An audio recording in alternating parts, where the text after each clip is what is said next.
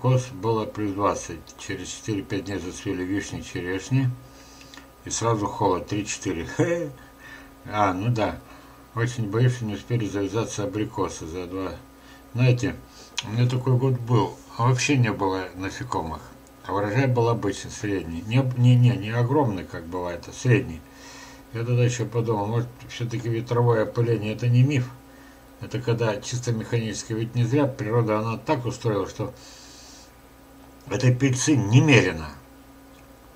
Это так же, как вот везде в природе, допустим, и кроме что-то там их тысячи икринок, а в счете их там миллионы, а до э, половозрелого доходит только, ну, та же пара, как отметала икру, прошли годы, а из этих тысяч осталась там та же пара.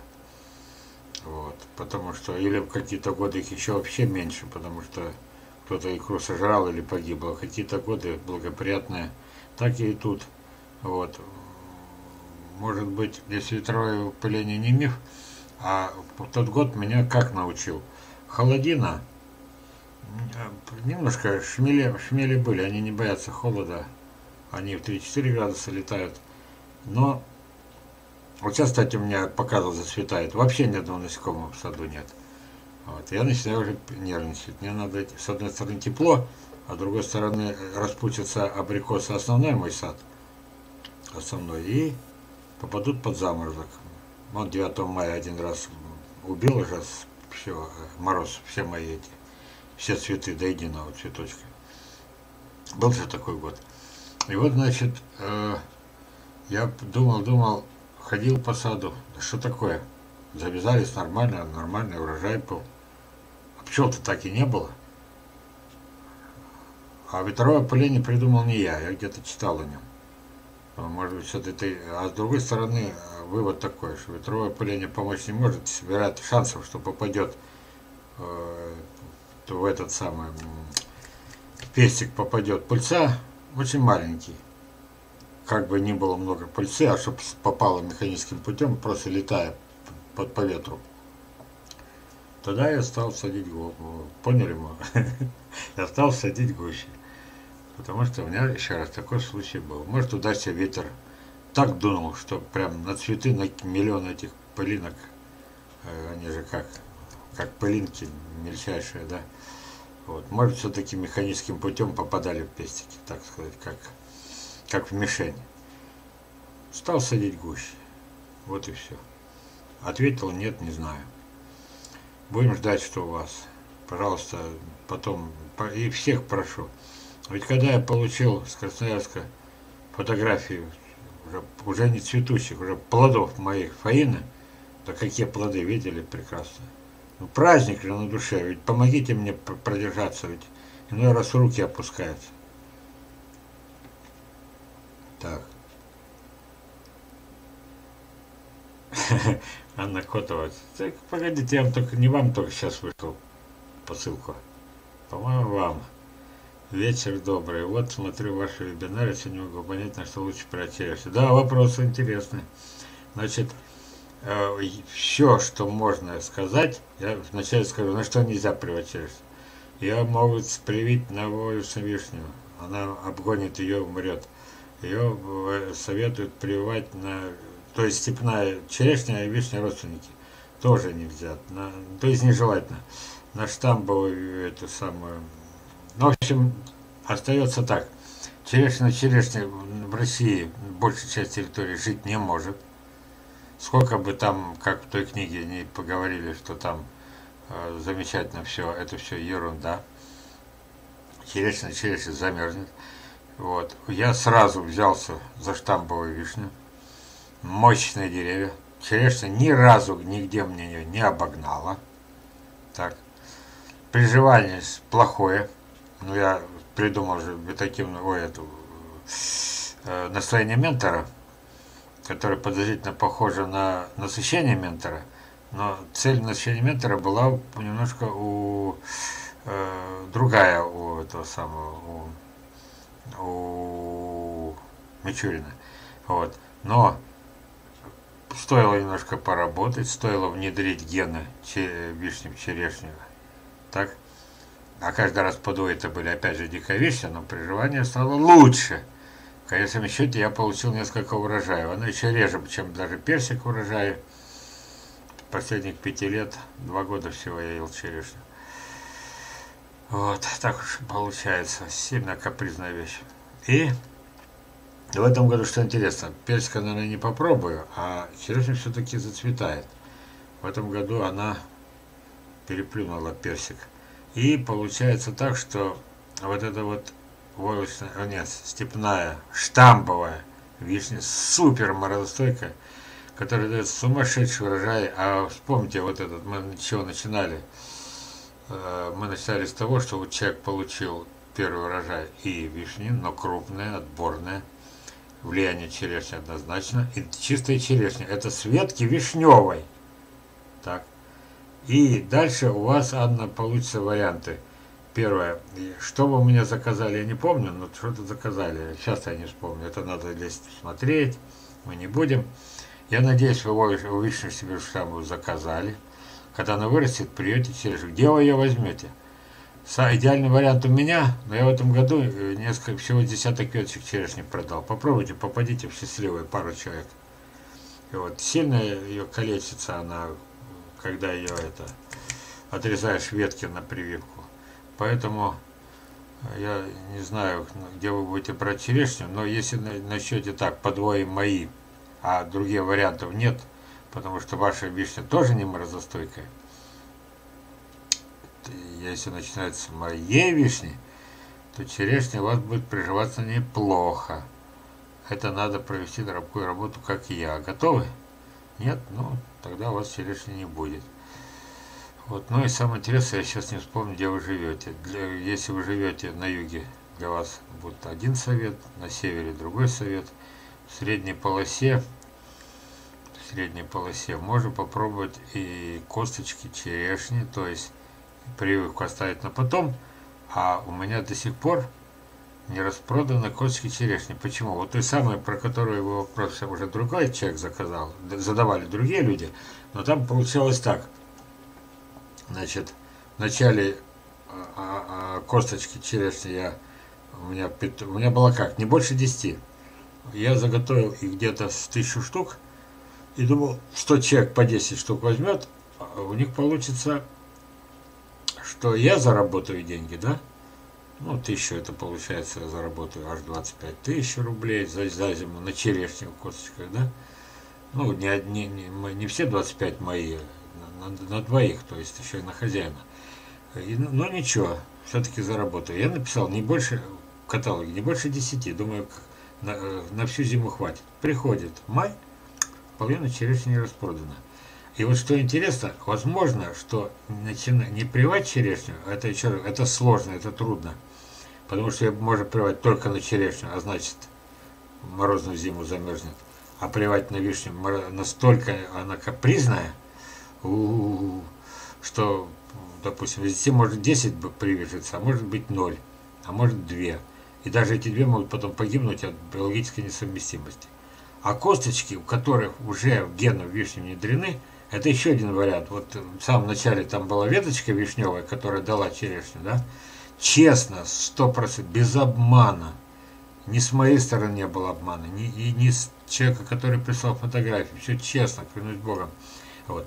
Но вариант черешни, которая выросла на вишне, и у которой наверняка гены вишни есть, а это морозостойкость, и вы получите, допустим, 10 косточек. Нет, не так.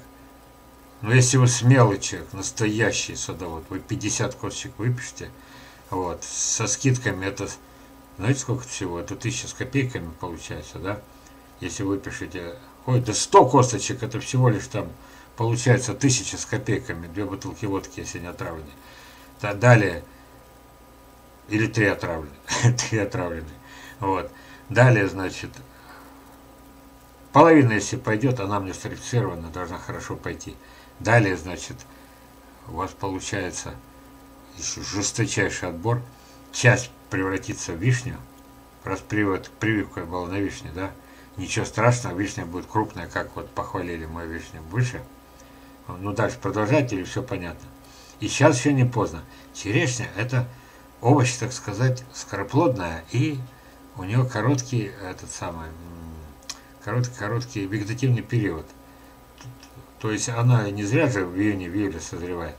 Получается так, что даже сейчас в мае можно выписать мою черешню, которая и, и возни никакой нет. Посадил, жди чуда.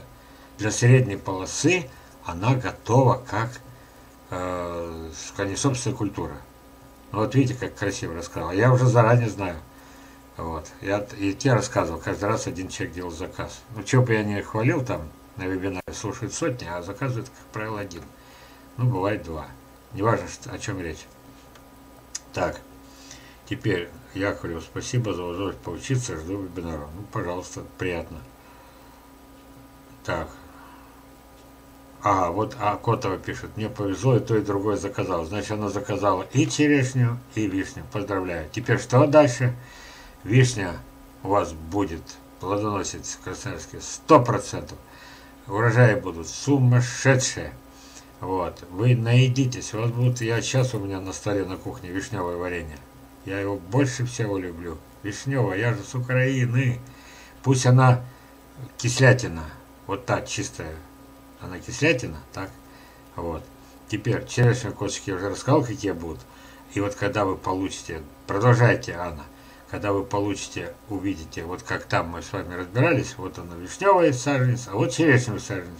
И спутать невозможно. Когда вы увидите, что черешневые листья, или кто-то вам подскажет, да, специалистов, кто-то из Украины скажет, да, это черешневая, вы светочку срежете, и, чтобы закрепить, закрепить, закрепить. И на саженцы, которые выросли молодые из вишни, привьете, срежете ветку с тех, которые получили черешни, у вас же косточки черешни тоже есть. Вот, перенесете туда, и третий вариант, помните, то, что я называл, помните? Вот, журавель в небе у вас будет. Вот так вот. И жар птица у вас будет. Так, ладно, что тут еще? Так, где-то мой чай. Если меня слушает Александр Алексеевич Ребрик, то он меня два раза обозвал. В хорошем смысле. Первый раз он сказал, что когда читал мои публикации, что сравнил с Салтыком Щедриным, для меня это высочайшая награда. Вот. И второе, он меня сравнил с лучшим рассказчиком России, с Ираклием Андронниковым. Вот. И сейчас что я делаю? Я хочу, чтобы вы тоже заболели. Я как гриппом хочу вас заразить. Потому что, представляете, Анна Котова заказала косточки вишни и черешни. Вот. А Красноярске другого шанса нет вообще.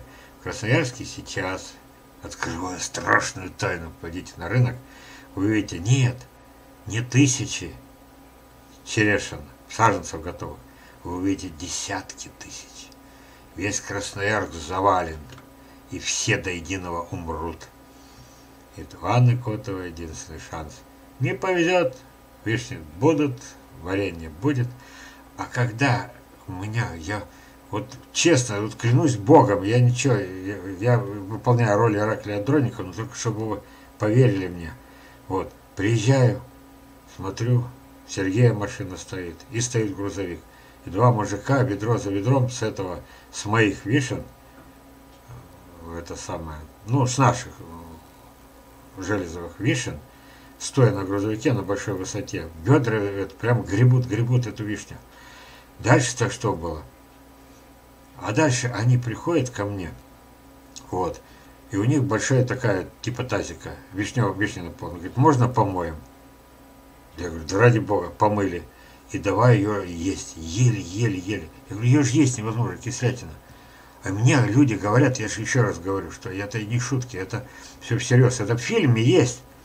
Я же их не подговаривал, у меня не было ни разу ни одного засова казачка. В фильме есть. Они едят и говорят, что это же вкуснота-то какая. Представляете? Они еще из дерева начали есть, хотя там улица и пыль.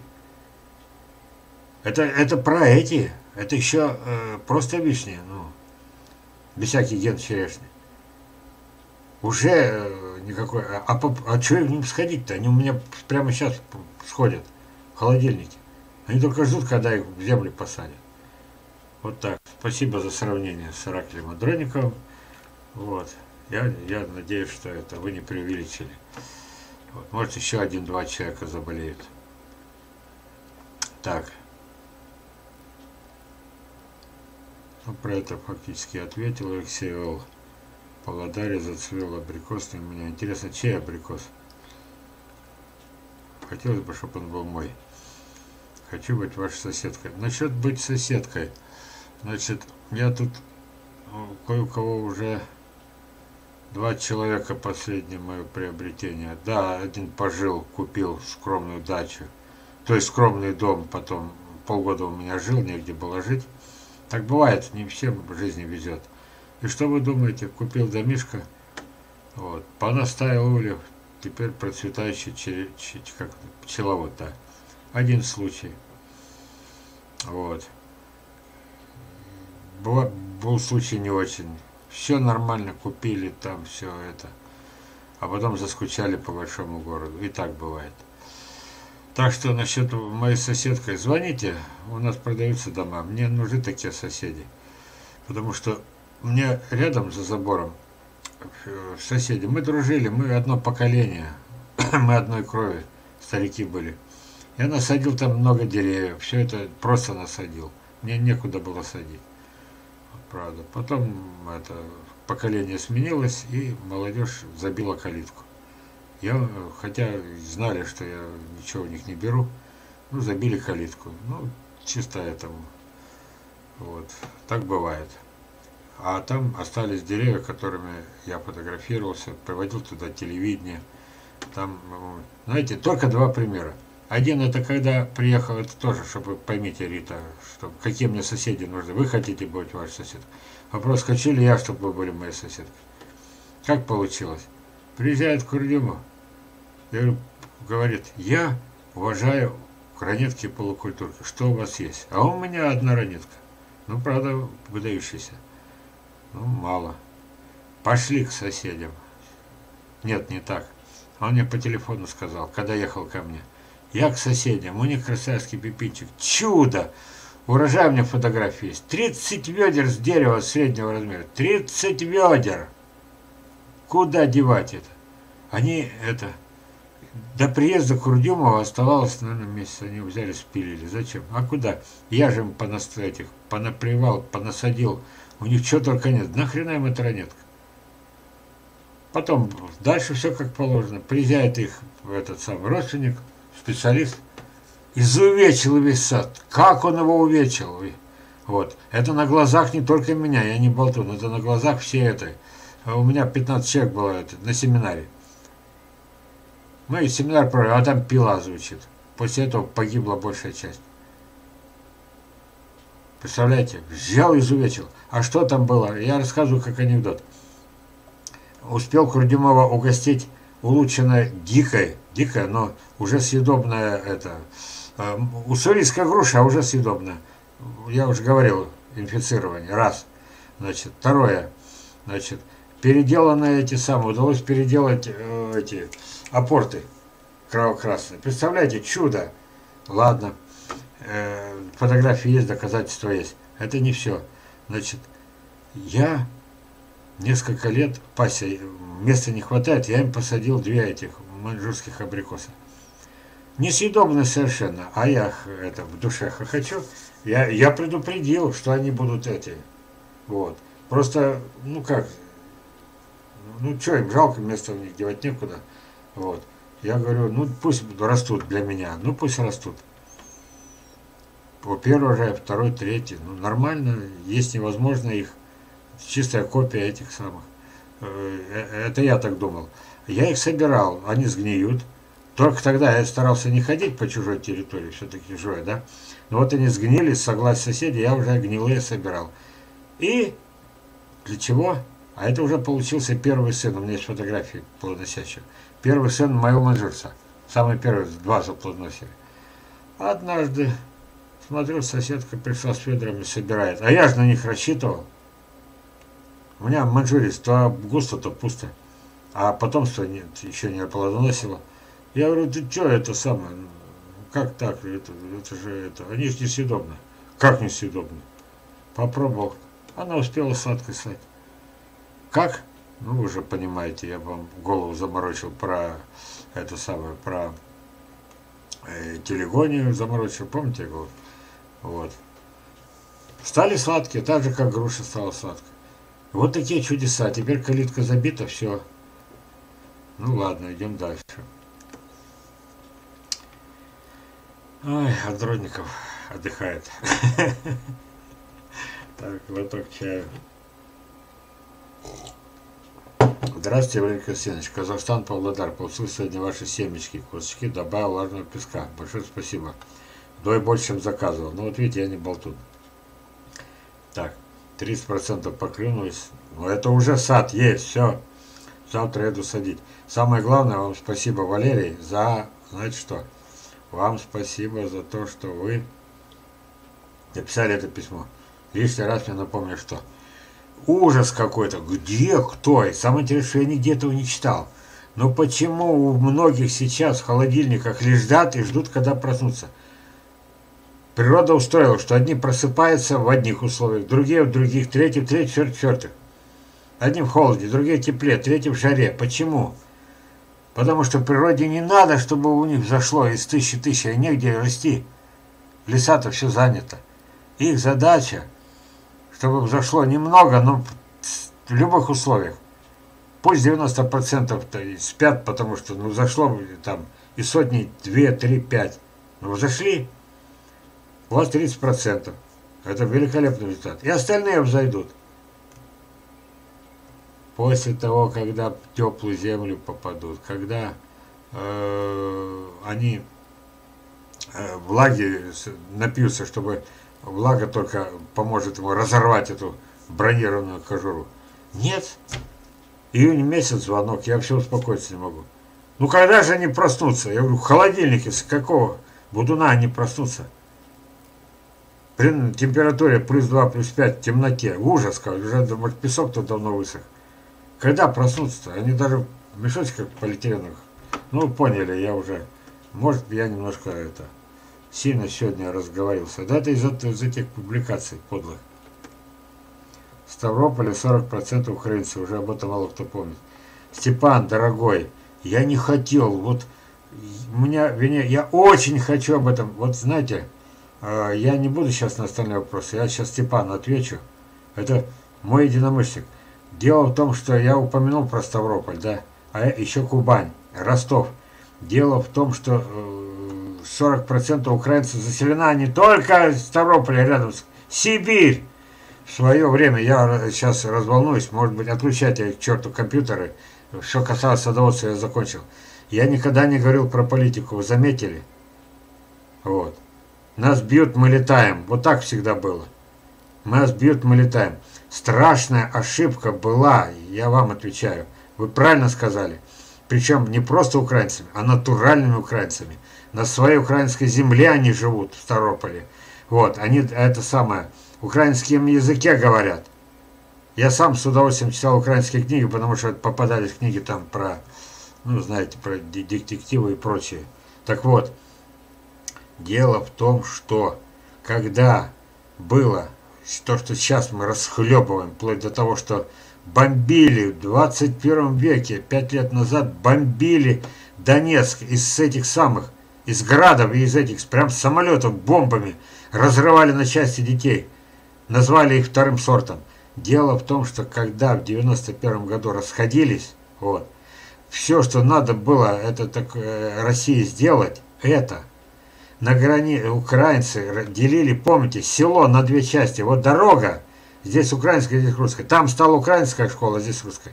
Надо было на русской территории, в Ставрополе, в Ростовской, в этой самой, э, на Кубани, надо было делать школы русско-украинские. Так, какой я учился. И ничего страшного, если бы там э, Тараса Шевченко изучали, и тут же этого самого э, Антон Павловича Чехова. Вот так, потому что и тот наш, и тот наш. И говорить должны были школа, а в ней украинская школа и русская. И обязательно. А еще раньше надо было, чтобы украинские центры культурные были, а то мы у русские устраиваем где-нибудь, тратим громадные деньги где-нибудь в это самое, а,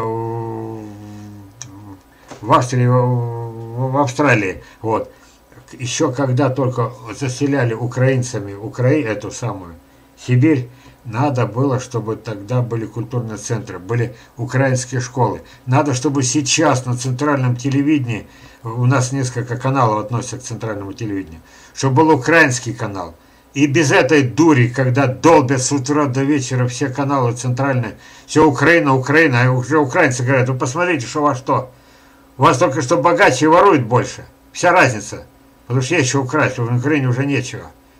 Все долбят-долбят. Надо было всего лишь, всего лишь, иметь нормальные каналы, чтобы мы смотрели каждый день фильмы Давженко, чтобы мы, э, это самое, прекрасные фильмы, чтобы мы могли слушать украинские песни, чтобы разговор был на украинском языке, чтобы я его не забыл. Я, у меня мама украинка, фамилия Натяга. Чтобы я его не забыл. Чтобы я сохранил эту любовь. Ведь это же, еще скажу и все, и заткнусь. Когда, ах, они сволочи, это мне говорит уважаемый человек с высшими двумя образованиями, грамотнейший, все, добрейший человек на земле. Что ему внушили, если он говорит, эти сволочи украинцы не платят, не отдали нам долг, там 2 или 5 миллионов, миллиардов за газ. Я говорю, слушай, если бы они сейчас скинутся всем миром, это нищета, там уже воровать нечего. Вот. И скинутся вот так вот, буквально как э, там кто кольцо золотое, кто там заначку, и отдадут России 5 миллиардов, у тебя зарплата на коп... не то что на руль, на копейку не повысится. Тебя эти доллары касаются, ни рубля, ни больше. Твоим детям лучше это, бесплатное питание в школе не обеспечат. Чтобы я, когда каждый раз, когда вижу, мне говорят, ребенок, э, знакомая, сидит и, это, и говорит, я не хочу кушать. Все дети идут в это, в школе на, на перерыве в столовую, хоть какой-то дерьмом кормят. Вот. Она говорит, я не голодная. А все дело потому, что тысячи рублей не нашли. Я в сотый раз достаю из кармана деньги, из-за этого не могу уже съездить в это самое, потому что я это уже сейчас дальше такого наговорю, матом начну крыть. Хоть один рубль с тех миллиардов бы попал. Тем детям, которые не могут пойти и говорят, я не голодный, потому что а, унижение какое испытывают, на всю жизнь унижение. Чтобы в школьном перерыве он не может покушать в школьной столовой. Украинцы виноваты. Это из-за вас это, это самое. И вот Степан, я вот разговорился, это вы виноваты. Наболело уже. Дурь такая, поссорить с украинцами. Так, ну что, не могу, сейчас пойду таблетки глотать. Когда показывают мою Украину. Мою Украину. Смотришь, уже кровью это самое, сочится чуть у меня с души. Все, извините, ребята. До свидания. Спокойной ночи. Все, следующую субботу вебинар. В следующую субботу вебинар. Много я вам рассказал, основное сказал. Ну, каждый раз, когда это самое, что-то надо обязательно добавить. Ну что вы еще это знаете про гепатогенные зоны? Ну почему так получается? Вы знаете, что я в Москве сидит 100 человек. Я говорю, останьтесь те, кто кому интересно, уже после вебинара. Я достаю рамки, остается человек 50. Я каждого из них э, говорю, давайте кого померить. Померил человек 20. Процент среди садоводов, тех, у кого высокое биополе, гораздо больше, чем в среднем по стране. Вот. Сады, сады, сады. Это наше здоровье, это наше спасение. Но только не искалеченные сады. Не искалеченные. Все, до свидания. Спокойной ночи.